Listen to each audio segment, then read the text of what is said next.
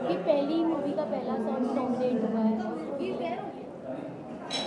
Um, हाँ मेरी पहली मूवी और अगर मेरे पहले म्यूज़िक डायरेक्टर्स जो एडवर्टाइजिंग के हैं वो बॉलीवुड में पहली बार पहली फ़िल्म कर रहे हैं तो पहली बार उनको नॉमिनेशन हो रही है। सो so, पहला फीलिंग है बहुत अच्छा लग रहा है।